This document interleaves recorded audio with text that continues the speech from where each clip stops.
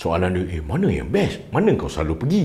Kat mana nak dive? So, yang best lah kan kalau nak cakap, tak ada pun satu tempat yang best sebab semua tempat best. Bergantung kepada kehendak kita. Kalau ada kawan-kawan diver ni, dia suka makro. Dive makro sebab dia nak ambil gambar ikan besar-besar, hidupan laut yang besar-besar. Mungkin dia akan pergi ke arah sipadan ada juga offer tengok uh, ikan barakuda.